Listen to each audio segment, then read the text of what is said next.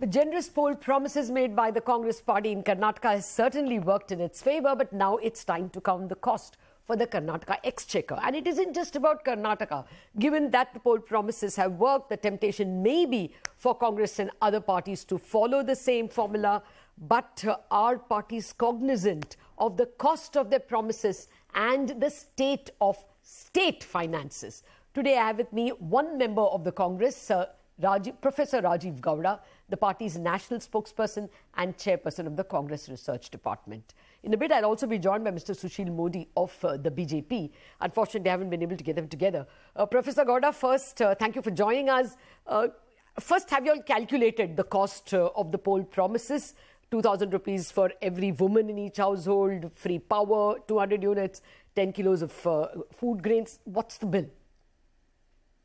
We've looked at 2,000 per month to women, um, uh, women in households. There are about 1.3 crore households in Karnataka.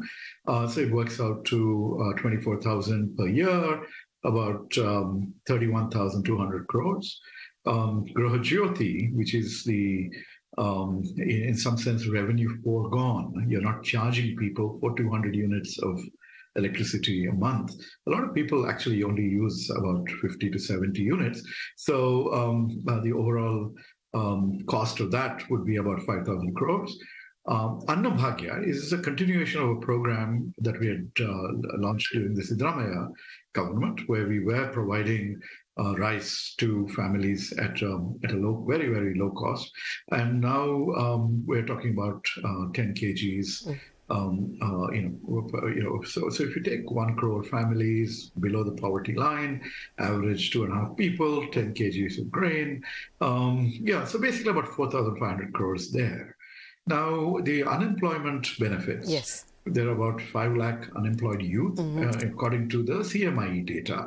Now, you must remember that this is, um, you know, in fact, it's even worse because um, unemployment measures those who are looking for a job. Actually, if you look at what's happened in Karnataka over the last few years, you've seen the labor force participation rate drop from 50% to 38%. People are so discouraged, they're not even trying, they're not even looking. And so we really have to do something like this to help uh, people, uh, graduates and diploma holders and others, to uh, pick themselves up and find a job.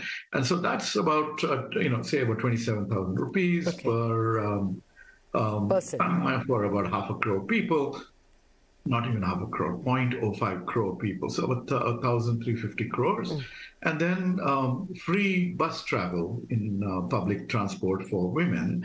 Um, if you say 27 rupees per passenger, about 25 lakh passengers per day across all uh, road transport corporations, you're probably looking at about 2,500 crores. So everything works out to a total of about 45,000 crores.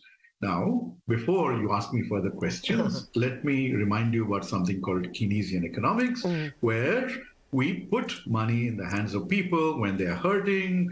That ends up creating a multiplier impact when they spend yes. that money, and that generates yes. growth in the economy. And Karnataka has always been, uh, you know, fairly high growth economy. Mm. I think we've also managed our um, fiscal resources very for carefully sure, for over sure. time. Uh, the last budget, uh, the FY24 budget, was actually a, a, revenue surplus of about 400 crores. But uh, the fiscal deficit is a little over 60,000 crores, and that's 2.6% of uh, the mm. GSDP of Karnataka. Now, will you not cross that 3% uh, Lakshman Rekha with this added 45,000 crore? Uh, yes, we get uh, very, very close to doing that. There are ways of managing, I'm sure. But uh, the basic point is these, these are all measures that are absolutely necessary. These are, you know, you said we are being very generous in our promises. We are being empathetic. We are paying attention to people's pain and we are working to alleviate that pain. No, I take your point, sir. I mean, nobody can argue against empathy. But the point is, uh, you can only serve what is there in the pan. And uh, hence the question, you know, Karnataka is the, actually the richest large state. I mean, if you exclude Delhi, Chandigarh, Sikkim, uh, Goa, in terms of large states, it is the richest state. The per capita income of Karnataka is 71% higher than the average per capita income of the country.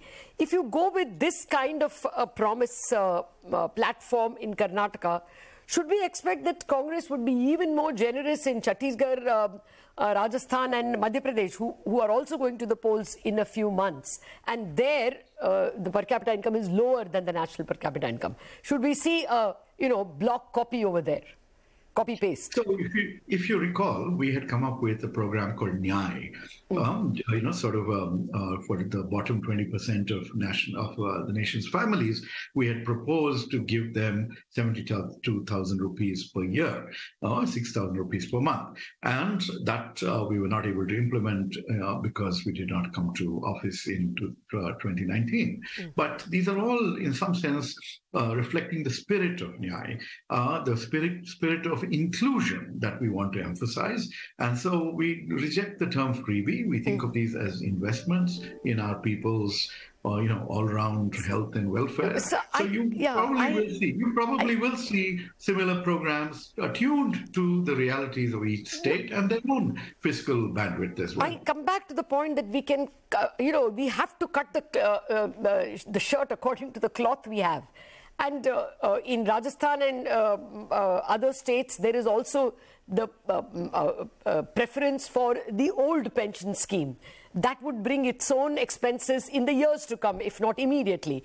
Uh, the uh, IRDA has clearly said they are not going to release the money that's already been uh, put in the new pension scheme, which means, okay, you may get some relief now, but that expense will also come in. And plus these expenses uh, th there are power problems for uh, the MP state and uh, um, Rajasthan. At least Karnataka doesn't have those problems.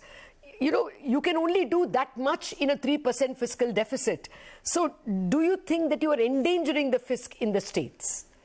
Uh, I wouldn't really think so. I think in Karnataka we are, you know, cutting our suit uh, according to the cloth that we have, or, and our estimate of how much cloth we think we will be having. We are also um, uh, confident that some of these measures for example, if we can uh, generate growth partly to, through this Keynesian infusion of resources in every family's home, just imagine if the rural economy picks up, the rural demand picks up. Uh, yeah, I mean, the kind of benefit that will provide to FMCG companies, to two-wheeler manufacturers, a whole, whole bunch of things like that. And the kind of job creation, if we are able to turn around, then the unemployment benefit will be phased out. I mean, it, it, you won't need to spend on that. If we generate you know, through public, private, and other innovative measures, uh, more energy projects. We are already an energy surplus state. We did uh, under DK Shivakumar, when he was energy minister, we launched this mega solar project without acquiring land through partnerships with farmers. So we have ways of doing more, which will ensure that some of these uh, issues uh, will not really bother us. Okay. It, we will be able to implement. And then if you look at administrative convenience, this whole business, you know, Mr. Bommai said that he had also announced uh, you know, free bus travel for working women and students. Well, that would have entailed going and getting passes and a whole bunch of other things. Now it is very simple. Okay. We also need administrative simplicity, right? Yeah, yeah, that's that's very considerate, uh, Professor Gowda, but I'm not sure it's affordable. But thank you very much for your quick word. We have to take a break, and thereafter, Mr. Sushil Modi, the Rajya Sabha MP and former Deputy Chief Minister of Bihar, senior BJP leader, joins us.